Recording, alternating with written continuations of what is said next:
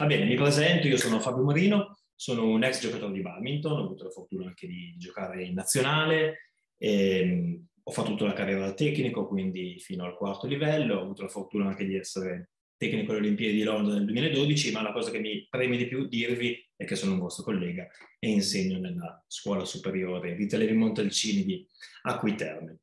Allora, banda alle ciance, intanto il costo dalle 4 alle 7 io spero di finirlo assolutamente prima. Io solitamente non faccio pause, ve lo dico subito, perché almeno vado dritto come un treno, ma sicuramente voi sarete più contenti di finire mezz'ora prima che fare qualche pausa nel mezzo del corso. Io vi presento immediatamente il manuale, manuale che vi ricordo che vi sarà inviato per email. Ok? Io lo scorro velocemente, ci parlo sopra, eh, dico le cose secondo me più essenziali e ehm, la cosa che mi preme di più è che all'interno di questo manuale c'è proprio una progressione didattica che potrete assolutamente fare nelle vostre palestre a scuola, che siano scuole elementari, non ci sono purtroppo docenti di scienze motorie, ma ci stiamo arrivando, che sia la scuola media, che sia la scuola superiore. Ok? Allora, io vado subito a condividere il mio schermo. Eccolo qua. Perfetto. Abbiamo chiamato questo webinar Badminton a scuola, lo sport che non teme distanziamento, perché il badminton è uno di quegli sport che assolutamente si possono fare anche in questo periodo.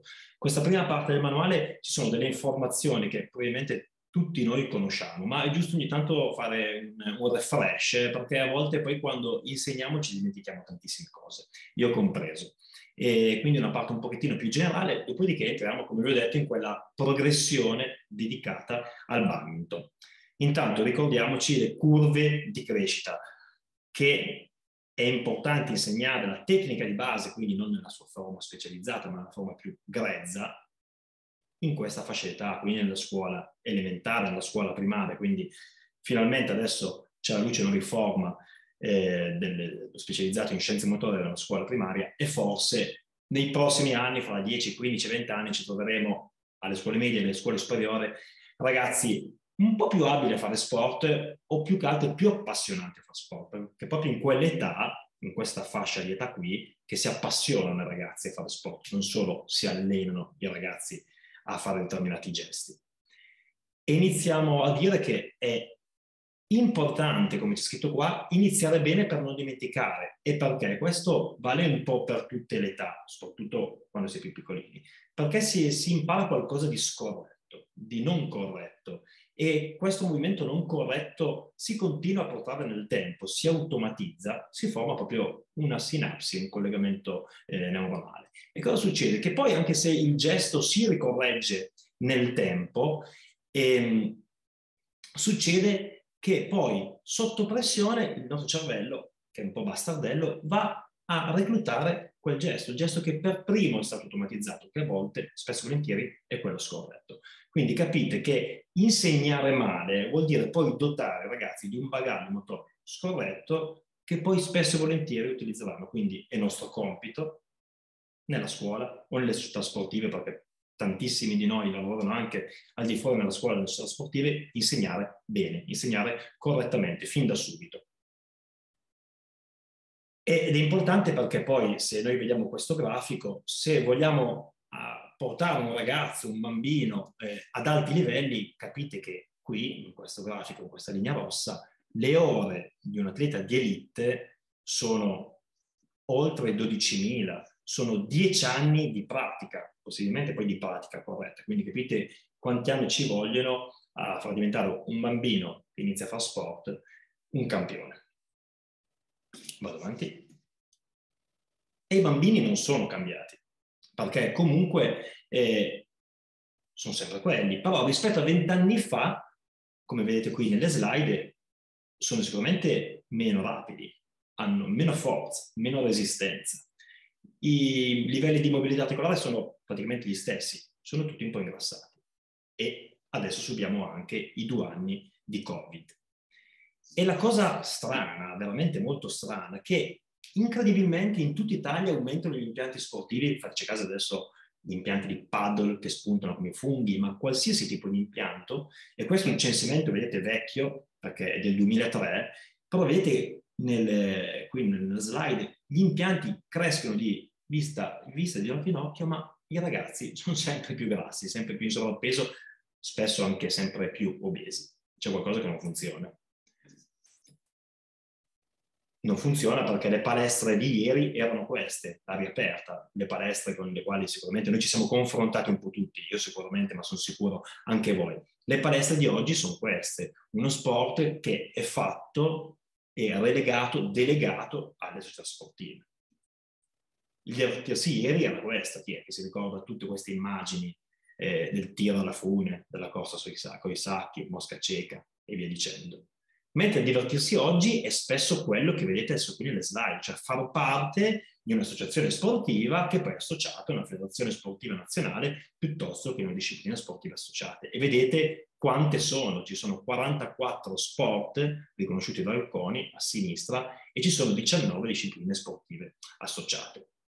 Il divertirsi oggi purtroppo è soprattutto questo, a partire dai telefonini, dalle console di gioco, a partire dai social, e vedete qui quanti eh, loghi di social abbiamo, e dagli e-games, ok? Quindi giochi elettronici, la PlayStation e via dicendo, quelli che si fanno anche da remoto, collegandosi con un tuo compagno che gioca con te dall'Australia. E pensate che c'è un dibattito per inserire gli e-games alle Olimpiadi. Cioè io dico cose da pazzi. Però purtroppo spesso e volentieri anche eh, negli anni, nei quadrenni passati, sono stati inseriti sport alle Olimpiadi perché c'erano degli sponsor dietro che versavano un sacco di soldi. Io spero che questa riforma non passerà mai e che gli games siano confinati alla scrivania, ma non ai giochi olimpici. E l'effetto Covid ha ovviamente peggiorato le cose. Se voi vedete questa slide, dopo il Covid, cioè in pandemia, un adulto su quattro fa sport, mentre prima un cittadino su cinque. Guardate i ragazzi, prima il 59%, adesso il 30% dei ragazzi fanno sport, cioè è un impatto veramente, veramente pesante. Però vediamo anche le cose positive, che l'effetto Covid abbia dato finalmente una spinta alla riforma delle scienze motorie anche nella scuola primaria? Forse sì, non lo so, però come dice la Mezzali è stata una svolta storica perché dal prossimo anno, anche se i concorsi non si sono ancora visti, come il concorso ordinario della scuola eh, di secondo grado, ci dovrebbe essere per la prima volta un laureato in scienze motorie nelle classi quinte della scuola primaria, tra due anni nelle classi quarti, poi nelle classi terze e poi dovrà andare a regime. Quindi speriamo appunto che le cose, le cose cambino in meglio. Questo è uno studio, è una bellissima slide, sono tutte cose che noi sappiamo, perché noi sappiamo benissimo che lo sport è la miglior medicina e non c'è bisogno che io ve lo legga, lo potete leggere. Ecco, chi fa sport è sicuramente più protetto da tantissime altre patologie, come anche il Covid. Però ci hanno vietato di fare sport durante il Covid o i presidi, i dirigenti sono i primi che hanno chiuso le palestre. E eh, vabbè, solo vogliamo, andiamo avanti. In Italia eh, spesso ci sono dei modelli che si contrappongono, non solo in Italia, in tutto il mondo, che è il modello polisportivo e il modello monosportivo multilaterale. Il modello polisportivo è quello che fanno le polisportive, lo dice la parola stessa, cioè fare tanti sport, dal calcio, dal basket, dalla pallavolo, al nuoto, all'atletica, e poi dopo un po' di tempo il ragazzo sceglierà il suo sport. Sarebbe un modello perfetto. In Italia non funziona perché le polisportive sono poche, gli impianti con tecnici polivalenti sono pochissimi e poi soprattutto andiamo contro una cultura che è estremamente calciofila e contro i genitori, perché spesso indirizzano come uno sport. Allora andrebbe applicato il modello monosportivo multilaterale, che è quello che noi possiamo fare anche a scuola, ovvero andare anche a fare uno sport solo, ma in quello sport solo dare tante basi, ok? In modo che poi sia abile a trasferirli anche in altri sport, quindi non specializzare subito, immediatamente. Quindi tutti poi si sciacquano la bocca con il modello monosportivo multilaterale, ovvero magari si va alla società di pallavolo e si dice no, ma noi nelle prime fasce d'età, i bambini di 5, 6, 7 anni, noi facciamo eh, coordinazione generale, schemi motori di base, poi vai a vedere e fanno tutti già uno sport specializzato. E qual è il problema? Che imparano a fare la pallavolo come il calcio, come il badminton, come in altri sport, ma poi quando arrivano a quell'età critica, sapete dai 12-13 anni, 12, 14, 15 anni, quasi tutti smettono, tanti smettono e fanno fatica a riciclarsi in altri sport perché sanno fare esclusivamente solo quello. Se invece ti iscrivi a pallavolo piuttosto che nell'atletica e i primi anni comunque fai un po' tutto, con insieme all'atletica e alla pallavolo, sicuramente ampli il loro bagaglio motorio e in caso di abbandono del ragazzo a quello sport saprà riciclarsi molto più volentieri in un altro sport, molto più volentieri sicuramente con molto più successo. Il ruolo degli insegnanti sappiamo che è fondamentale perché noi non abbiamo un ruolo, noi abbiamo un multiruolo e se vedete qui questa slide siamo dei genitori, dei consiglieri, dei consulenti, dei gestori, dei supervisori, dei fan, dei motivatori, mettiamoci anche dei cazziatori perché spesso e volentieri lo, lo facciamo, abbiamo veramente tantissimi, tantissimi ruoli, quindi abbiamo una responsabilità non indifferente. Ecco, se noi eh, andiamo a curare i nostri allievi, che siano a scuola, ma che siano anche al di fuori della scuola, se qualcuno di voi allena eh, qualsiasi ASD, ecco, dobbiamo sapere che l'inizio deve essere un inizio attivo. Questo è un protocollo che si chiama LTAD, Long Term Athletic Development, che è famosissimo in tutto il mondo, in Italia anche, ma un po' meno applicato, ovvero di eh, permettere ai bambini di giocare mh, mm, molto semplicemente all'aperto, un inizio attivo, giocare comunque in casa, di fornirgli fondamentali, vedete qui c'è scritto fun, fan come divertimento, perché i fondamentali vanno fatti eh, in gioco, perché il gioco è trasversale e col gioco si divertono tutti, qualsiasi età, specialmente i bambini più piccoli. E poi piano piano imparare ad allenarsi, allenare ad allenarsi, allenare a competere e via dicendo, in modo da costruire poi questo valore sportivo che rimarrà per tutta la vita, perché poi una persona che ha fatto sport per tutta la vita, fateci caso, continua a mantenersi in forma anche finita la sua carriera, che per questo deve essere per forza stata una carriera di altissimo livello. Ecco, in quest'altra slide vi ricordo, questo manuale lo avrete, e abbiamo anche queste palle, siamo palle da bowling, ci sono tre palle, due palle, una palla, dove va a evidenziare cosa effettivamente dovremmo curare di più. Ad esempio, nei fondamentali, sicuramente l'agilità, l'equilibrio, la coordinazione, la consapevolezza dello spazio, meno sicuramente la resistenza alla forza, meno la capacità aerobica. Ok? Quindi sappiamo in base anche in facilità cosa possiamo andare a curare di più o cosa possiamo per il momento tralasciare.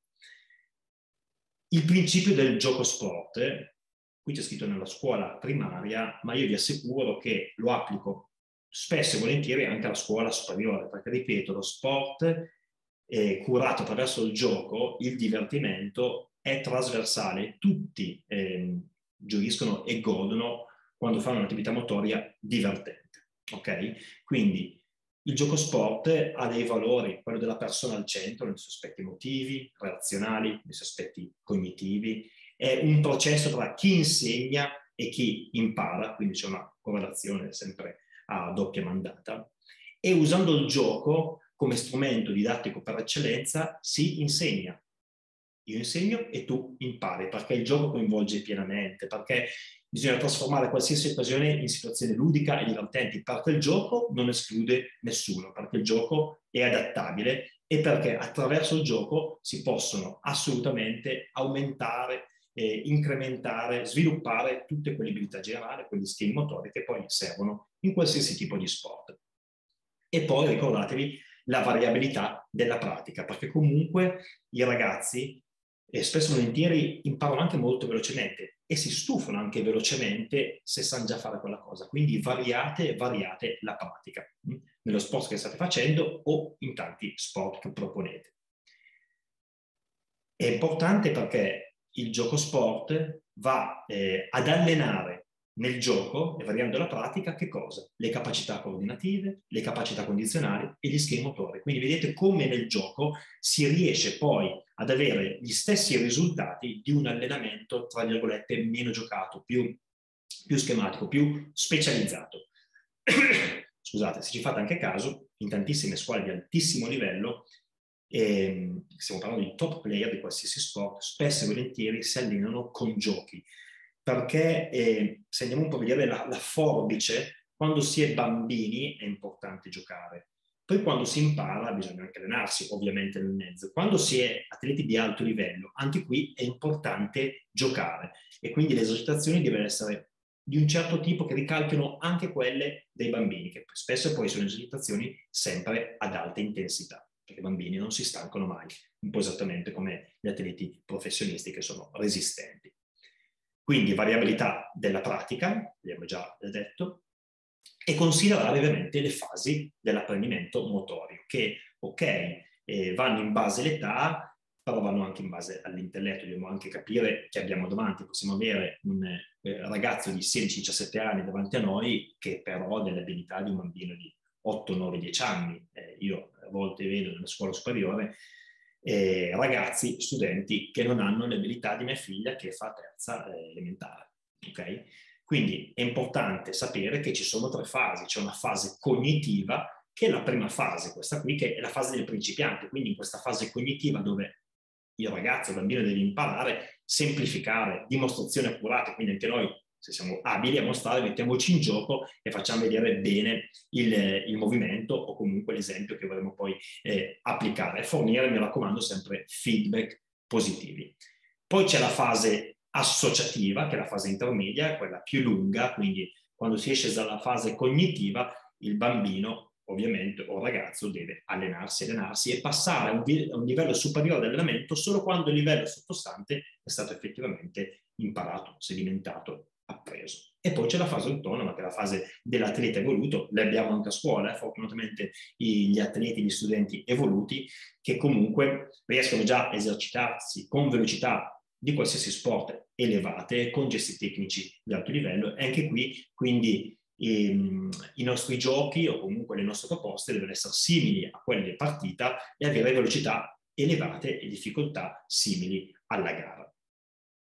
La comunicazione sapete benissimo che è importante, il verbale, cioè quello che dici, deve avere un senso, magari detto anche nel paraverbale, quindi il tono della voce, la velocità del parlato e meglio ancora nel non verbale, quindi nella postura, nella gestualità, nella prossemica, quindi la distanza fra me e te che mi stai ascoltando in questo momento. Eh, siamo tutti lontanissimi, ci collega solamente un monito. Ed è importante sapere che chi riceve che cos'è che percepisce, cioè io posso essere super colto e dire tutto benissimo, ma il mio verbale entra il 7%, cioè il contenuto di quello che dico viene eh, inglobato nella mente il 7%. Il non verbale, cioè quindi se io comunque il mio contenuto lo so dire in toni e modi sicuramente diversi, entra molto di più. Ma cos'è che entra molto di più nella testa di chi ci ascolta? Il paraverbale, cioè vengo vicino a te, ti tocco, ti gesticolo, la mia mimica. Su questi i politici ci campano, ok? Non dicono niente verbalmente, ma sono bravissimi magari a gesticolare, ok? Quindi ecco, quando comunichiamo, andare a usare questa fetta di torte nel modo più corretto. Qui c'è un'organizzazione di una sessione di gioco, vedete che si chiama Ideas, Ideas. I, qui a sinistra sta per introduzione, D, dimostrazione e esposizione a attività S, sintesi. Allora, quando proponiamo un'attività, possiamo farci uno schemino così. Quindi, ragazzi, introduzione, oggi facciamo questo test, dimostrazione, magari lo faccio vedere io, lo fate vedere voi, cercando sempre magari di farlo vedere con una tecnica corretta, perché spesso i ragazzi imparano visivamente, ok? Visivo, poi c'è l'auditivo, poi c'è il cinestetico, ma tanti sono visivi. L'esposizione, possiamo spiegare, guardate in questo test, state attenti lì, c'è una penalità, attenzione a cosa fate in quel momento. Si fa l'attività, quindi si fa il test e poi una sintesi finale, un sommario. Benissimo ragazzi, avete fatto questo test, questi sono i risultati, in questo test eh, avete incrementato l'agilità, abbiamo sviluppato queste caratteristiche e via dicendo. Quindi, quindi anche con questo modello Ideas potete sempre andare a creare le vostre lezioni e avere sempre anche il bando della matassa e sbagliare anche il meno possibile quando si propone una lezione, ma soprattutto perdere meno tempo. La creazione di allenamenti graduali, mm, questo è un pochettino più rivolto a chi allena al di fuori della scuola, ma perché no? Anche in un contesto scolastico, perché se ho un gruppo sportivo scolastico, sto preparando dei ragazzi per i campionati studenteschi di badminton, in questo caso ecco, l'allenamento dovrebbe essere in un certo modo. E qui lo trovate qui in basso, cioè dal semplice al complesso, dal lento al veloce, dal prevedibile all'imprevedibile, soprattutto poi se stiamo parlando di sport dove c'è un alto tasso indice di imprevedibilità, come gli sport di situazione, ad esempio lo sport del badminton. Ecco, vedete qui c'è una bellissima cornice, c'è scritto contesto tattico con queste frecce dal prevedibile all'imprevedibile, all'imprevedibile, qui c'è una, una dispensa, imprevedibile, dal lento al veloce, dal semplice complesso. Qui c'è un errore nella dispensa, li andremo a correggere. È giusto quello che avete visto prima, semplice, complesso, lento, veloce, prevedibile e imprevedibile. E qui c'è, ad esempio, una progressione, non l'ho messa neanche di badminton, l'ho messa di pallavolo, leggiamola velocemente, eseguire un palleggio della pallavolo senza palla, con la palla e con l'aiuto dell'insegnante, utilizzando una palla fissa che mi aiuta quindi a colpirla perché non c'è la discesa della palla al volo. Mano a mano aumentare andando fino a un livello meno prevedibile, più veloce, più complesso. Infatti l'ultimo c'è scritto giocare una partita con punti extra da segnare se il palleggio è stato vincente, è stato effettuato in questo modo. Ok?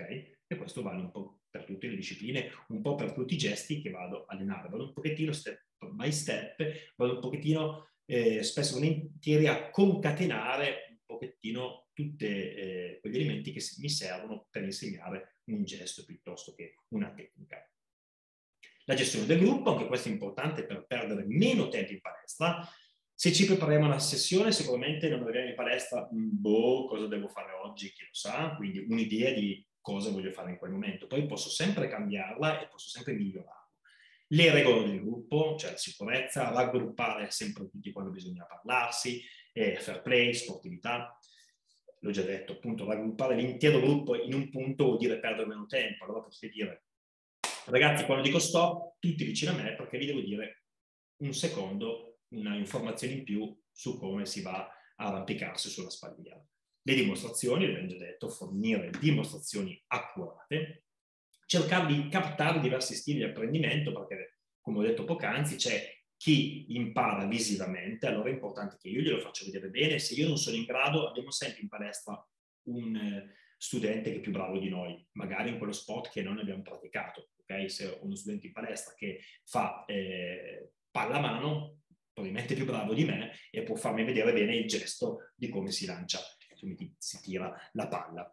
Quindi importante bene la dimostrazione, captare diversi stili di insegnamento, appunto perché chi impara visivamente è importante che abbia una buona dimostrazione, chi impara in modo auditivo è importante che gli si fornisca i dettagli giusti, ok? Come tiene la palla, la posizione del gomito, il gomito che avanza, la rotazione dell'avambraccio, ok? E poi c'è anche il cinestetico che è quello che impara facendo, facendo, ok? Le dinamiche del gruppo, quindi fare votare, se abbiamo anche dei disabili, eh, cerchiamo di mettere il, ehm, l'alunno disabile sempre vicino a un compagno diverso in modo che anche si responsabilizzano, lavorare sullo spirito di gruppo e anche equilibrare le esigenze di gruppo. Come nelle associazioni sportive, anche a scuola abbiamo chi ha voglia di fare e chi ha voglia di non fare niente, ok? E quelli sono quelli che nella vita non faranno mai niente. Allora non è che quelli che non fanno niente devono buttare giù il livello della classe dell'altra metà che magari ha voglia di fare. Quindi anch'io spesso e volentieri chi ha voglia di fare di più curo sicuramente quelli che hanno voglia di fare eh, di più. E questo capita anche nelle associazioni sportive. Del resto non tutti vogliono diventare campioni nelle associazioni sportive e non tutti a scuola vogliono diventare fenomeni in scienze motorie o comunque avere un 9, un 10 a fine anno sulla pagella. I genitori, oh, quanto sono importanti i genitori? Eh, I genitori perché comunque sono quelli che intanto possono accendere la scintilla per far sì che il figlio faccia sport e poi lo possono incoraggiare e supportare senza mai pressare troppo. Qui abbiamo degli esempi di genitori famosi che ce l'hanno fatta, i Maldini, i Cagnotto. Agassi ha avuto un genitore che, non so se avete visto l'autobiografia di Agassi, il libro se l'avete letto, molto interessante. Abbiamo Fiona May e poi abbiamo quel centro dei classici eh, elementi chiusi di là di una gabbia, i classici genitori che spesso troviamo sui campi eh, da calcio, che ahimè spesso è lo sport dove gli esempi di genitori sono i più tragici. Ma il genitore è importante perché appunto soprattutto deve dare il buon esempio. Mm? E anche qui, sia nella società sportiva ma sia a scuola, ad esempio quando abbiamo i colloqui individuali, è mostrare cosa stiamo facendo eh, nella nostra eh, classe con i loro figli, mm, l'attività che stiamo eh, facendo e dire anche loro gli obiettivi e mostrare i risultati. Messaggi da portare a casa? Ecco, evitiamo quando alleniamo, ripeto, sia in palestra, sia fuori da palestra, ma però, eh, Raffaella, sei stata molto brava a fare quell'esercizio, però se avessi fatto così, ecco, gli hai dato un feedback positivo, poi gli dici il ma però che va a eliminare tutto di quello che è positivo, gli hai detto prima, mm? ok? Quindi ma però è una congiunzione avversativa, sia il ma che il però, che abbassano l'importanza di quello che è stato detto in precedente, ok? Puoi utilizzare anche il ma però, magari in un um, contesto un pochettino diverso, con una strategia un pochettino diversa. Gli inglesi lo chiamano il shit sandwich, shit come cacca, il panino con la cacca, ovvero un sandwich, ci metto il pane, ci metto in mezzo la cacca e poi ci rimetto il pane sopra, ok? Quindi gli do un feedback buono, mm, mangiati un po' di pane, ok? Poi gli do un po' di cacca dentro, quindi ma però facciamo un esempio, sei stato veramente molto bravo a schiacciare, hai fatto un bellissimo gesto, hai portato sulla racchetta, però il volano è finito fuori, mettiamoci un po' di pane, ma non è importante perché ci stiamo allenando a utilizzare quello schema, a utilizzare quel colpo in quella situazione e vedrai che domani lo farai molto meglio, ok? Ricordatevi allora questo shit sandwich. Feedback positivo, feedback negativo, ma finiamo con un feedback positivo, ok? Il non cerchiamo di non dirlo mai, lo so che lo diciamo tutti, ma provate, anzi sperimentate, perché anche provare non va bene, c'è scritto subito dopo, sperimentate a dire a un bambino eh, non buttare eh, il cibo dal seggiolone. La prima cosa che fa è lo butta per terra, ok? Non buttare, il non è una sfida. Allora, allo stesso modo, lo stesso ehm, indicazione glielo puoi dire senza il non. Invece di dire non buttare il bicchiere per terra dal tavolo, lascia il bicchiere sul tavolo. È la stessa cosa. Io con, che ho due bambini piccoli, una mh, piccola sa tre anni, ma quando effettivamente era piccolina ho sperimentato e non provato, sperimentato a evitare di dire sempre no, effettivamente funziona. La difficoltà è chi deve mettersi nei panni di dire alcune parole, è quella difficoltà, perché siamo abituati purtroppo spesso a parlare così, ok? E anche il perché non riesci, eh? gli fai già una domanda, come dire, eh, Raffaella, perché non riesci? Raffaella può pensare, perché mi chiede perché non riesco, perché sono una sfigata? Ecco, invece di dire perché non riesci Elisa, io posso dire, Elisa, ma se ci riuscissi, cosa, cosa cambierebbe? Ok? Ma vai, dai, sei capace, vai tu, sperimentalo, divertiti, ok? Sperimentare, divertiti. Parole con significato diverso che hanno presa diverso sul cervello, ok? Ricordi sempre che tu sia nel, a scuola, che tu sia nel tuo club di qualsiasi sport tu faccia, siete tantissimi, di considerare i giochi variandoli in ritmo, in spazio, in tempo, in condizioni materiali, in abilità, mettendoci anche spesso degli aspetti cognitivi. Io mercoledì ho fatto un test eh, dove c'erano anche gli aspetti cognitivi, dove bisognava in una fase di corsa e poi di lancio fare una somma, ad esempio, molto semplice, presa a casa, prendo due eh, pagine di un libro. Mettiamoci sempre gli aspetti cognitivi, perché sappiamo tutti che chi fa sport è più bravo anche nella scuola. Okay? Quindi mischiamo comunque entrambe le cose. Quasi finito questa prima parte. Botta risposta. Quanto tempo a sessione? Guardate che bastano 45-60 minuti fatti bene. All'inizio va benissimo solo divertimento, ma non deve essere solo divertimento di giocare a badminton, prendere la racchetta e spadellare facciamoli appassionare una volta, ma poi diamogli quegli elementi per governare la racchetta, quindi introdurre piano piano anche la tecnica. Nessuno mi ascolta, è normale, i bambini non ti ascoltano, neanche i ragazzi ti ascoltano, ma quando vedono la tua professionalità ti ascolteranno sempre di più. Hm? Modulatore della voce, a fabula, raggruppali, e succede anche con eh, i ragazzi del superiore che a volte bisogna fabularli. E come mi devo comportare? Vedete c'è scritto in fondo alla slide, eh, vale per i bambini, ma vale anche per gli adulti, gioca con loro, perché se ti metti in gioco anche tu, loro si divertono di più, anzi dicono, beh, se lo fa il prof, lo posso fare anche io, ah, però guarda il prof che bravo, che gioca con noi, e tanti altri pensieri che loro vengono in testa, ok? Quindi dai sempre comunque il buon esempio. Ok, interrompo un attimo la condivisione, grazie. Intanto siete 817, un numero stratosferico, E questa era la prima parte del manuale, ok? Ricordo che il manuale vi sarà consegnato. La seconda parte del manuale è invece un eserciziario, ok? Io l'ho chiamato eserciziario 21. Perché 21? Perché 21 è il punteggio eh, di fine set quando si gioca a badminton. A badminton si gioca al medio dei tre set, quindi se io vinco due set ho vinto l'incontro, in caso di un set pari si va al terzo set, ok? E si gioca set a 21 punti. Immaginate come la pallavolo, ok? Quindi finché faccio punto servo io, batto io, come nella pallavolo, ok? Quando perdo il punto, quando sbaglio, il punto passa all'avversario e anche il servizio passa all'avversario. Quindi il volano, la battuta, il servizio passa all'avversario. E si arriva fino a 21 punti.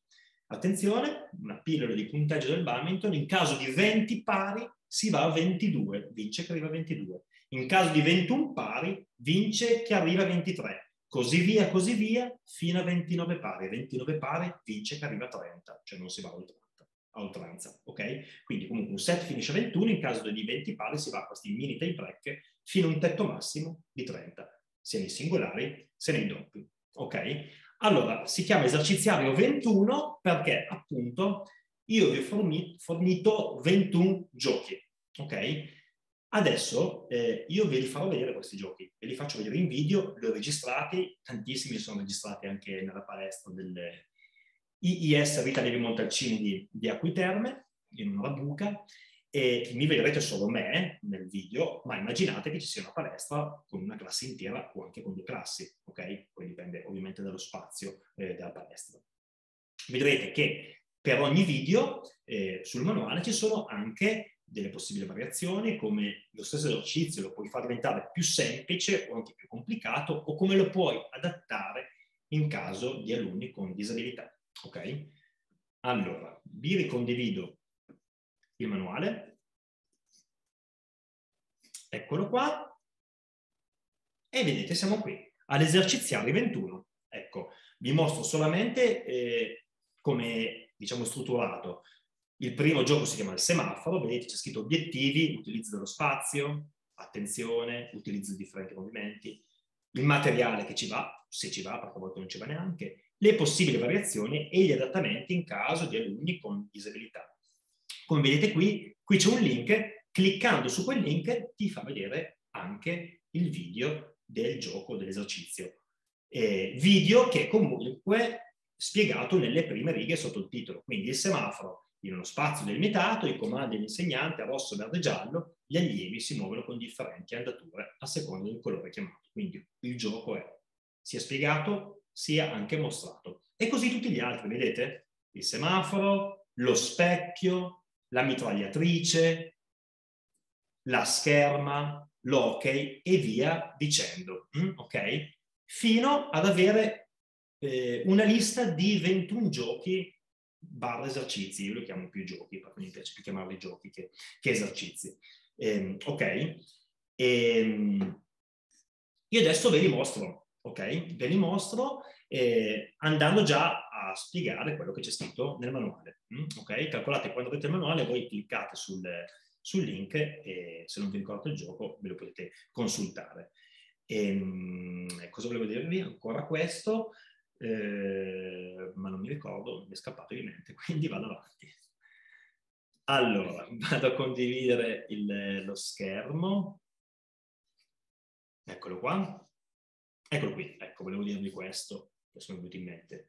Volevo dirvi che questi 21 giochi non sono fatti a caso, non sono buttati così nel manuale a casaccio, è una progressione didattica, ok? Quindi a mio avviso, anzi non a mio avviso, te lo consiglio, devi farlo, dovete farlo, partite con il primo gioco e poi andate fino all'ultimo, perché un gioco introduce poi un'abilità che ti serve nel gioco o nell'esercitazione successiva, ok? Allora, se segui un pochettino questi giochi e, come abbiamo detto prima, nelle fasi dell'apprendimento motorio, nella fase cognitiva, ma più che altro associativa, nella fase di mezzo, è importante ripetere fino a che un gesto è più o meno corretto, siamo a scuola, non è che dobbiamo mh, avere campioni mondo, del mondo di badminton o di altri sport, passa al gioco successivo. Calcolo che in quel gioco lì stesso ci può stare più e più tempo, perché comunque tutte delle variazioni proposte nel manuale. Ok, vado adesso a prendere direttamente dal Google Drive, sono contenuti lì, e voi avrete l'accesso, eccolo qui, vado a prendere i giochi. Allora, il primo è il semaforo, ok? Vado ad aprirlo,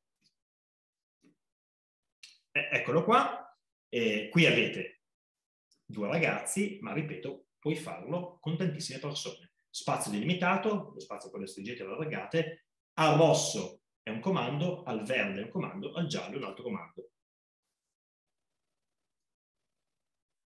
Rosso ti fermi, verde cammini, giallo cammina all'indietro, rosso ti fermi e via dicendo, ok? Io qua vedo subito una variazione bellissima, bellissima, che io chiamo il lucchetto, ok? Diciamo, ragazzi, al rosso ti fermi, al verde corri, al giallo corri all'indietro, ok? Poi intanto variamo, al rosso ti fermi facendo muro tipo pallavolo, al verde fai dei passi accostati, definiti chassé nel badminton, al giallo fai dei passi incrociati e le cambi il lucchetto funziona così, dico ragazzi ricordatevi le combinazioni, eh, l'ho fatto i primi mesi, quasi tutte le lezioni da, da settembre a ottobre, anche per vedere come rispondevano. Rosso ti fermi, verde corri, giallo corri all'indietro. Ok? Però ragazzi se vi dico 1, 2, 3 è la stessa cosa, quindi aumentano le combinazioni. Il rosso ti fermi, ma anche all'1 ti fermi. Al 2 corri, ma anche al verde corri, al giallo corri indietro, ma anche il 3 corri indietro. Ok? E le mischi. Rosso, 2, 1, oppure rosso, verde, giallo, 1, 2, 3, Fabio, Luigi, Antonio. E i movimenti sono gli stessi, ma loro devono andare a prendere, a reclutare le informazioni giuste nel cervello per fare quel movimento. Rosso, verde, giallo, 1, 2, 3, eh, Giovanni, Luca, Luigi, pallavolo, calcio, badminton, fino ad arrivare a un tot di combinazioni che loro possono gestire, ok? A una classe dove sono molto bravi, lo dico anche, guarda, la seconda I Montalcini, sono, sono riuscito a fare cinque combinazioni che sappiamo gestire senza errori, con i colori, con i numeri, con i giochi dello sport, con nomi di persone, con nomi di professori, si relativano anche, ok? Quindi questo è il semaforo, ok? Quindi un primo gioco anche di, di riscaldamento dove potete inserire poi anche quei movimenti motori tipici del badminton. Vediamoli, la corsa in avanti, tipica nel badminton, la corsa indietro, tipica nel badminton. Il passo accostato viene definito eh, in tanti modi, passo accostato, scivolamento laterale, galoppo laterale, si chiama chassé a livello internazionale, che è questo.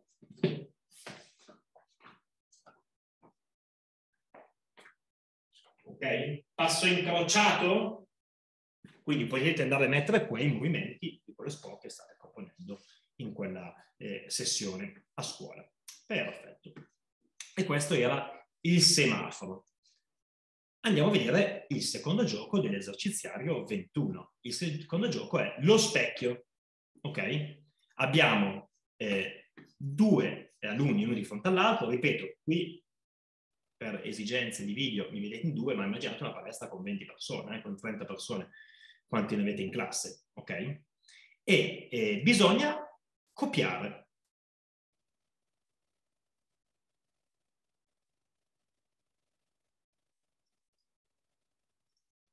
Faccio vedere, si parte in questa posizione, si fa una divaricata, si chiudono le gambe, una divaricata in diagonale, si chiudono le gambe, una divaricata in diagonale, si chiudono le gambe, una divaricata che assomiglia un po' alla posizione della pallavolo, ma anche alla posizione del badminton, che è quella di difesa, tipo modello squat, tipo modello bugger, ok? E poi si riparte da capo. Rivediamo? Divarico, in diagonale, in diagonale, grande, divarico, in diagonale, in diagonale, grande, ok? e vi assicuro che ci sono degli alunni che hanno difficoltà eh, a, intanto a fare alcuni movimenti, più che altro a sincronizzarsi con il compagno davanti. E anche questa, la sincronizzazione, entrare comunque in empatia con un compagno è importante in quegli sport, poi anche di squadra, o in quegli sport dove si gioca in due. Ad esempio il badminton, dove si gioca al doppio, come anche nel tennis. Ad esempio il badminton, dove c'è anche il doppio maschile, il doppio femminile, ma anche il doppio misto, cioè io che gioco nella mia parte di campo assieme a una compagna, a una ragazza, ok? E questo va allo specchio. Il terzo è la mitragliatrice, ok? Abbiamo un alunno davanti al muro, staccato di un metro, e un alunno a distanza di 2-3 metri. Io in questo caso i volani, magari qualcuno mi dice a scuola non ce l'ho, puoi prendere delle, delle palline di carta di giornale, mm, costa niente, le avviluppi e fai tirare le palline, che non fanno neanche male, come i volani che pesano qualche grammo. Indicazione, se hai i volani, ecco, dai l'indicazione, mi raccomando, il volano va lanciato cercando di colpire l'avversario dal collo in giù, dallo sterno in giù, perché il volano non fa male, perché pesa qualche grammo, fa male solo se arriva negli occhi, lì fa male. Calcolate che in questo momento stiamo lanciando a mano, anche se arrivasse negli occhi non farebbe male. Lanciato con una racchetta, vi informo intanto che a badminton si raggiungono delle velocità fino e oltre 400 km h il record di smash, mm, di attacco di schiacciata è 493 km h più di una Formula 1. Capite, se ti arrivi un volano a quella velocità in un occhio, eh, eh, ti passa dall'altra parte l'occhio, ma quello è l'unico caso. Ma stiamo parlando anche di velocità che a scuola nessuno riesce a raggiungere. Comunque in questo gioco lanciamo con le mani. Qual è lo scopo? Io lancio il mio compagno deve andare a schivare. E adesso io sto lanciando molto piano perché faccio vedere la tecnica di lancio. Guardate, il gomito dietro, alto, come si gioca a badminton sopra la testa, come si gioca a pallavolo sopra la testa, come si gioca a tennis sopra la testa, come si gioca a pallamano, a pallanuoto o si tira un giavellotto sopra la testa e altri gesti ancora che in questo momento non mi vengono in mente, ok? Gomito alto dietro, gomito che va in avanti, vedete, gomito che va in avanti e rotazione dell'avambraccio, ok? Quello faccio vedere in monito. Dopo un po' di volani si cambia, si chiama la mitragliatrice perché appunto l'idea è quella di schivare eh, il volano che viene lanciato dall'avversario. Allora, questo è importante questo gioco perché, ricordate, negli sport di racchetta, e quindi non sto parlando solo di badminton, se sai lanciare, sai colpire, ok? Chi non sa lanciare, ergo, quelli che lanciano così, li metto anche di lato, così, come se fosse una freccetta, non funziona gli sport di racchetta, hm? Ma anche in altri sport, vedi la pallavolo, pallamano, pallanuoto, quelli che ho detto prima. Come si lancia un attrezzo, ok? O come si scaglia una racchetta. In questo modo, tenendo il gomito dietro l'alto, ok? Adesso io qua l'avevo in mano, portando il gomito del braccio con cui lancio in avanti, ok? io dico sempre a mia figlia, il gomito deve andare in salita verso l'alto, perché se il gomito va così, poi non riesco bene a gestire la rotazione del mio avambraccio. Quindi il gomito dietro, il gomito che sale verso l'alto. In questa fase, mi metto di dietro, in questa fase il gomito che va in avanti fa ruotare l'avambraccio. L'avambraccio è ruotato, ok? Ha fatto una supinazione perché? Perché se supina, poi dopo per lanciare o per tirare deve pronare. Allora vado ad usare l'avambraccio che funziona come una fionda, che tira forte perché non è perché ha dei grandi muscoli, perché soprattutto è la tecnica corretta. Ok? Quindi preparo il gesto, carico il gesto, scarico il gesto. E ragazzi, che siete qui, vi dico questa cosa, magari qualcuno di voi lo sa già, qualcuno di voi non lo sa, il badminton è tutto qui, nella rotazione dell'avambraccio. Supino, prono, ok? Supino, supino, prono. Vado sul rovescio, prono, supino. A badminton, e lo dico con il non, non si gioca di polso. Se qualcuno vi ha detto in qualche corso, badminton si gioca di polso, ditemelo che lo vado a prendere a calci nel sedere. Ok? Il badminton non è un gioco di polso, come tutti i giochi di racchetta, prono, supinazione dell'avambraccio. In qualche colpo il polso prepara la racchetta, chiude il colpo in qualche colpo, altrimenti non lo usi mai. Ok? Rotazione dell'avambraccio E perché il gioco della mitragliatrice è importante? Perché se noi facciamo lanciare senza correggere un minimo la tecnica, cioè che lanciano così, ma come ci giocano poi con la racchetta? Così. Come ci fanno il servizio con la, con la palla della pallavolo? Così, ok? Che va bene, si divertono anche, però un gesto non lo trasferisci, nessuna disciplina, forse lo trasferisci nelle freccette, mm? ok? Quindi andiamo all'inizio del manuale. Perché è importante insegnare bene? Perché se gli insegno bene, ok, intanto riesce meglio e si diverte di più, poi lo trasferisce, mm? ok? Quindi a scuola abbiamo anche un pochettino, senza alcun po', abbiamo l'obbligo, ok, di cercare di imbastirli decentemente qualsiasi sport eh, proponiamo. Perché se li facciamo sempre solo giocare, va bene, eh, ma sappiamo che poi il gioco anche spesso è molto povero e limitato.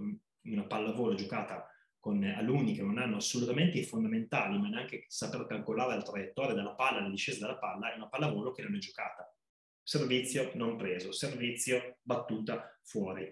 Battuta dopo 10 minuti che passa miracolosamente la rete, la gente che non sa metterci neanche le mani sotto per fare un bug, ok? Un minimo, un minimo di fondamentali per poi farle giocare, una pallavolo decente come anche un badminton.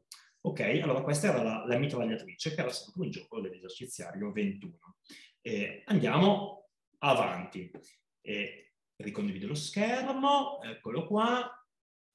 E abbiamo la fontanella. La fontanella, anche qui, è un altro esercizio che insegna a lanciare sopra la testa, come ho fatto vedere poc'anzi, ma anche a ferrare il movimento dal basso, se mi vedete in monitor dal basso, con la tipica postura, atteggiamento della scherma. Allora, c'è questo ragazzo che lancia sopra la testa, e poi che afferra. Guardate il ragazzo bianco, lancia sopra la testa e poi va a afferrare con una tipica presa da badminton. Ok? Io cosa faccio? Che sono dall'altra parte, blocco il suo volano, lo afferro e quando il volano del mio compagno in aria glielo lancio, vedete, ci sono due volani in gioco. Non abbiamo i volani? Palline di spugna, palline da tennis, palle di, di carta rotolate, ok? Il materiale possiamo sempre costruirci e questa è la fontanella. Mm? Ok? Anche lì facciamola cercando di dare degli accorgimenti. Mm? Quindi il lancio l'abbiamo visto, fatto in un certo modo, ok? E la presa. Mm? La presa è quella classica della scherma, che conosciamo tutti, no? Mm? La presa fatta in questo modo. Mm? Fatta in questo modo, meglio ancora se col braccio dietro allungato perché dona equilibrio, oltre che esteticamente corretto, mi raccomando l'affondo. Lo vedete il mio piede? Ecco, l'affondo non così, ma con il piede in linea con il ginocchio. Quindi da lavorare quei fondamentali che va bene, ci servono nel badminton, ma ci servono anche in altri sport. Ok? Perfetto, e questa era la fontanella. Veniamo al prossimo esercizio. Vi ricordo che se tutta questa progressione la fate partendo dal primo gioco al semaforo, arrivando fino all'ultimo, arriverete agli ultimi giochi dove c'è più badminton giocato, dove c'è il badminton molto più giocato, che sapranno governare la racchetta. Il segreto è quello. Non accontentatevi di dargli immediatamente subito la racchetta e farli palleggiare, perché palleggeranno, ma poi sarà molto più difficile correggere gli errori dopo. Ok? Fate queste esercitazioni molto più ludiche, molto più divertenti. La scherma, eccola qua. Prossimo gioco. Intanto qui siamo sempre in due, immaginate di essere in tanti in palestra. Abbiamo la racchetta, se non avete la racchetta anche senza racchetta, ecco c'è un giocatore che attacca, il giocatore bianco, e poi il giocatore blu che attacca. Il giocatore bianco attacca, il giocatore blu si ferma e attacca il giocatore davanti, ok? Quindi quando il giocatore che difende si ferma c'è il cambio di ruolo tra attaccante e difensore. E questi sono passi tipici della scherma, no? Vi sembra di vedere eh, Aldo Montano, invece sono io, sono Fabio Morino. Vi sembra di vedere un giocatore, un, um, un atleta di, di, scherma, invece è assolutamente un giocatore di badminton perché questi passi tipici dell'avanzamento della scherma poi sono passi tipici che troviamo anche nel badminton quando si va verso la rete. Ok? Perfetto, questa va la scherma. Dopo la scherma possiamo vedere l'hockey. Ok? L'hockey Intanto sempre due ragazzi, ma immaginate che di fianco a me, verso le spalliere, ci sono altri ragazzi, prima di me ci sono altri ragazzi, quindi possiamo creare una sorta di competizione. Abbiamo una racchetta, usiamo le racchette, sono almeno racchette, possiamo usare dei diari, delle cartelline, qualcosa che funga da bastoni, spingiamo un volano, una pallina, con l'obbligo di spingerla una volta eh, usando il palmo della mano, quindi il diritto, una volta ruotando l'avambraccio, ecco qui la famosa rotazione dell'avambraccio, usando il dorso. Se mi vedete in monitor, una volta spingo la pallina così, e una volta la spingo così, di rovescio. Una volta la spingo di diritto, una volta la spingo di rovescio. Intanto sto andando a allenare il diritto e il rovescio, e se gli dico anche come mettere le mani sull'impugnatura, ok, faccio anche cosa buona e giusta. L'impugnatura badminton si tiene come prima nella scherma. Nella scherma, quando giochiamo il gioco prima, l'impugnatura va tenuta così, diritta. Se noi abbiamo degli alunni che tengono la racchetta così, signori e signore collegati, questo è il primissimo grande errore che potete fare. Così non andranno da nessuna parte, saranno limitatissimi. La racchetta si tiene diritta, di taglio. Poi giro l'avambraccio, quindi lo supino, lo ruoto esternamente e gioco di diritto. Lo ruoto internamente, quindi lo prono e gioco di rovescio. Quando lo ruoto internamente sul rovescio, l'impugnatura subisce una piccolissima e facilissima variazione, facilissima, ovvero che il pollice va sdraiato sul manico, invece di essere chiuso, perché nell'impugnatura precedente vedete che il pollice chiuso quasi va a eh, incontrarsi con l'indice. Allora questa è l'impugnatura che si chiama AV, perché AV? Perché vedete che si forma una V tra pollice e indice. Allora, se vedete i ragazzi che tengono la racchetta così a martello, è sbagliato, è sbagliato. Questa è l'impugnatura giusta, AV, che la usi dove? Sul diritto sotto mano, sul diritto sopra la mano, sul diritto sopra la testa. Si chiama impugnatura AV o di base perché quella è più utilizzata. Ok? Sul rovescio è molto semplice il cambio di grip, cioè lo fanno veramente i bambini, basta dirvelo, basta dirvelo. Il problema sei tu, se non glielo dici, eh, non lo sanno, ok? Quindi grip a V per il diritto. Se voglio andare sul rovescio, cosa faccio? Il pollice lo allungo sul lato del manico. Perché serve questo pollice? Perché se lo allungo, oltre alla rotazione per colpire, il pollice sotto mi funge da sostegno sul manico e aiuta nella propulsione e a far spingere il volano verso l'alto. Ok? Quindi già nella scherma prima, ma anche nell'hockey diciamo già l'impugnatura, perché poi quando andiamo a giocare col volano se le ritrovano, sanno che cosa sono. Vedete l'importanza della propedeutica, che non la fa quasi mai più nessuno, maledetti a noi. Ok? Quindi al via partono tutti quelli che sono sul mio lato, immaginate 10 persone vicino a me, partono un diritto, un rovescio, un diritto, un rovescio, dall'altra parte c'è il compagno che partirà anche lui e deve arrivare dove ero io. Vince la coppia che arriva per primo posto, ok? Io sto andando molto piano per farlo vedere, immaginate che ragazzi vanno a 200 all'ora. Hm? Però anche lì voi controllate il gioco, se vedete che qualcuno tiene male la racchetta o non fa diritto rovescio, stop! Fare un secondo, ok, puoi ripartire, gli dai una piccola penalità. Hm? Perché comunque se curi un po' la tecnica, poi, ripeto, è facile che dopo se la ritrovi correttamente. Abbiamo visto la scherma, abbiamo visto l'hockey, abbiamo visto il golf. Il golf, un pochettino come l'hockey precedente, mettiamo i compagni uno dietro, eh, uno fianco all'altro, ok? Quindi immaginate 10 persone eh, in linea con me.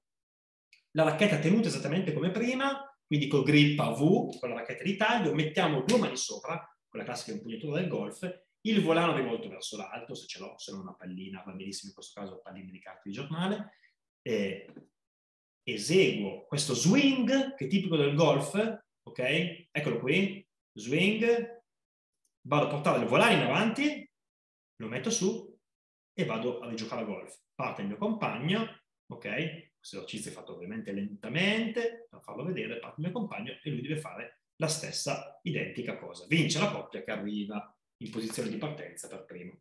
Anche qui, perché è importante questo esercizio o gioco, perché è una staffetta, eh? quello che abbiamo visto prima nel, nell'hockey e, e nel, nel, golf è una staffetta vera e propria.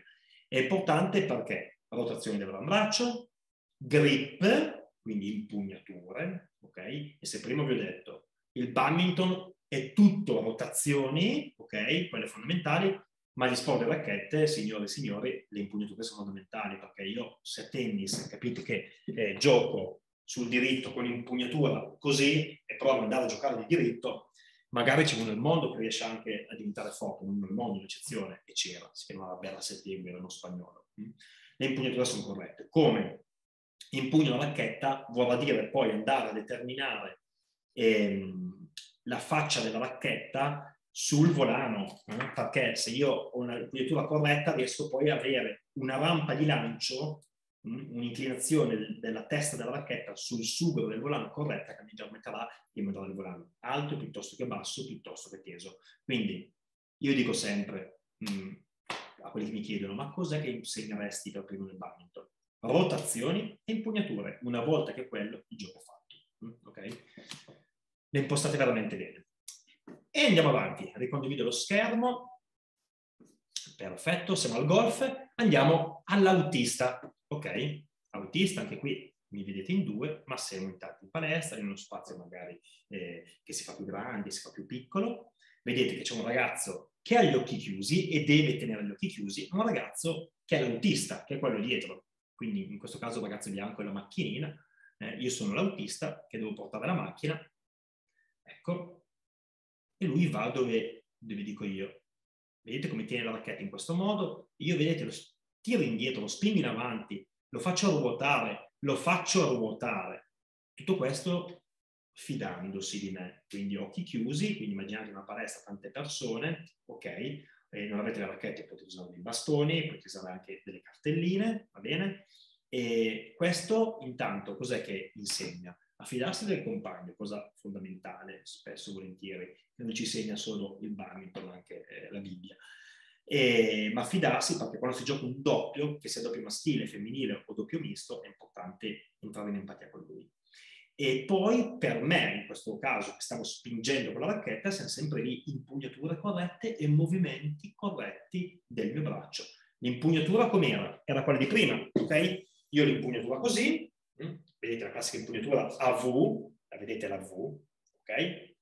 Detta anche di base, perché è l'impugnatura più utilizzata, la metto, la pianto nella schiena del mio compagno, immaginate che il compagno la dovrà tenere così, con due mani, mm? ben salda, ok? A questo punto io, che sono l'autista, vedete che movimenti faccio? Allungo e lui va avanti. Fletto e lui viene indietro supino e lui gira da un lato, prono e lui gira dall'altro. E questi sono i movimenti che usi con la bacchetta per giocare. Ti allunghi per colpire il volano, ok? Fletti, ok? Fletti e poi ti allunghi e soprattutto ruoti sono i movimenti che si usano a badminton, mm, ok? Quindi giochino che serve per tante cose, mm, non solo per il badminton, ma comunque sempre andare a evidenziare rotazioni, impugnature movimenti eh, classici della nostra disciplina. E vado avanti, ricordatevi dello schermo, eravamo rimasti all'autista e dopo l'autista abbiamo il gioco esercizio che si chiama volano posture. Col gioco di parole volano, volare, infatti c'è l'accento sulla O, volano postura. Molto semplice, tante persone in palestra. Ecco, vedete che io sto mostrando il grip a V, vedete? Guardate qua, la V, eccolo qua. Eh? Ricordatevi che questo è il grip che è maggiormente utilizzato. Grip a V. Grip a V. Ruoto, avete visto che sto ruotando il mio braccio avambraccio, ok? Metto un volano, se non c'è un volano una pallina, e vado per la palestra, cammino senza farlo cadere, così familiarizzo con l'apprezzo, ok? faccio un po' di equilibrio, e ogni volta che il mio professore di scienze motorie mi dice abbassati, mi abbasso, e poi il mio professore mi dice adesso Fabio fermati in questa posizione, e io lo faccio. Adesso Fabio fermati in questa posizione, e Fabio lo fa. Bravo Fabio. Adesso Fabio continua e fermati in quest'altra posizione. Sei pronto Fabio? Sì, va bene, prof. Adesso ci provo, va bene? Ecco, benissimo. Ottimo Fabio, adesso continua. Fabio, fermati in questa posizione. Uh, uh, devi portare il volano lì, uh, devo girare tutto l'avambraccio per fare tutto ciò, bene, non è caduto, se cade il volano, nessun problema, lo rimettete a posto, non c'è nessun problema. Fermati in una specie di plank, bene, bravo Fabio, ok? Intanto gli fate fare anche qualche esercizio, mm? ok? E qui avete alcuni esempi di posture, ma chi più ne ha, più ne metta, ok? E questo è lavoro in posture, ripeto, si può fare con quante persone si vuole in palestra. Dopo volano posture, c'è volano passi o volano passi, sempre gioco di parole che in federazione mi prendono sempre in giro perché amo giocare con le parole. Volano passi, intanto se vedete eh, in questo esercizio tengo la bacchetta in modo diverso, la tengo più corta. Hm? La tengo eh, nella T, se mi vedete in monitor, la T è proprio quella giunzione che c'è tra lo stelo e la testa della bacchetta. Mm? È un pezzo di ferro che unisce eh, le due parti della bacchetta, soprattutto quando la bacchetta è, diciamo, economica. Le bacchette di ottimo livello, come questa, che ho, vedete, non hanno, c'è sempre la T, ma non hanno quelle, eh, quell'annesso che serve a unire testa e stelo, ok? Quel pezzo in più. Quindi in questo caso io lo tengo corto perché è facilitato. Tenere una racchetta in quel modo vuol dire eh, semplificare l'attività. ok? E in volano passi o volano passi, il professore mi dice Fabio, corricchia, va bene prof? Fabio, fai passi chassé, eccoli qua i passi chassé. Eh? Vi ricordo che questo passo è molto utilizzato nel bagno, si chiama chassé, come anche nella danza, ok? Passo chassé, vado avanti. Poi mi dice Fabio, fai adesso... Oh, mi dice Fabio, allunga il manico. E va bene, io allungo il manico, allora cambia, eh, cambia tutto ragazzi, perché cambia l'equilibrio, cambia come deve portare il volano, cambia la sensibilità, ok? Cambia anche l'intensità della presa che io devo avere sul manico, ci sono parecchi cambiamenti. Ok? Mi dice cammina all'indietro, io cammino all'indietro, mi dice, vediamo se dice qualcos'altro, mi dice di fare un passo incrociato, anche questo è un passo tipico nel badminton, incrociare, mi dice di andare su un piede, a volte nel badminton si usa, e via dicendo, ok? Io ho messo alcuni movimenti, chi più ne ha, più ne metta, mm, ok? Volano passi. Il prossimo è la cannonata, ok? Purtroppo in questo video è stato mh, mm, tagliato chi esegue il colpo, cioè me, ma ve lo spiego. C'è un giocatore a terra, ok? Possiamo farlo partire pancia a terra, prono, possiamo farlo partire pancia all'aria, supino, su un lato, come volete voi, tutte le variazioni. C'è un giocatore dietro, immaginate che io sono dietro, che tengo la racchetta mh? Mm, e dirò il nome del giocatore a terra, in questo caso si chiama Marcin, questo ragazzo, e dirò Marcin, Marcin parte, io effettuerò un servizio dal basso e Marcin dovrà andare a raccoglierlo con due mani oppure anche con una mano. Ecco, vedete, si vede che sono io dietro. Io dico marching, marching, parte, subito dopo vado a colpire il volano. E quindi in questo caso voi potete andare a eh, introdurre una sorta di battuta di servizio anche molto rudimentale. Intanto ricordatevi che il servizio più facile nel badminton non è quello di diritto, ma è quello di rovescio. Allora, se i ragazzi servono così, di diritto, vi assicuro che avranno difficoltà, perché un gesto più completo, più complesso. Il servizio più facile si fa di rovescio. Come si fa il servizio di rovescio? Tengo il volano con le piume, tra le piume, con le dita, pollice e indice, racchetta con un grip che non abbiamo visto prima. Prima abbiamo visto il grip a V, poi abbiamo visto il grip con il pollice sdraiato di lato, questo grip si dice ad angolo, il grip con il pollice invece con il pollice sdraiato sul lato più largo della racchetta. La racchetta è formata da dei piccoli lati. Una racchetta normale. Vedete, la racchetta è formata da dei piccoli lati. Vedete questi piccoli lati? Il grip a V è in questo modo. Ok? Quindi diciamo che la punta della mia V, questa è la punta della V, cade qui, in questa posizione qua. Il grip ad angolo, basta allungare il pollice, se ci fate caso, il mio pollice, vedete, cade nell'angolino del, del tappo della racchetta, per quello si chiama d'angolo, perché il pollice cade su questo lato. Ok? Il grip con il pollice cade sul lato più largo, che è questo, oppure l'altro. Allora, grip con il pollice sul lato più largo, largo.